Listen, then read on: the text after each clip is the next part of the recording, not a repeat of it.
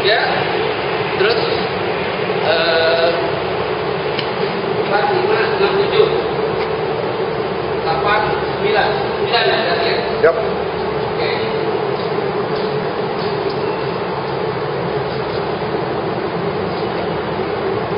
Kamu masuk sini kan?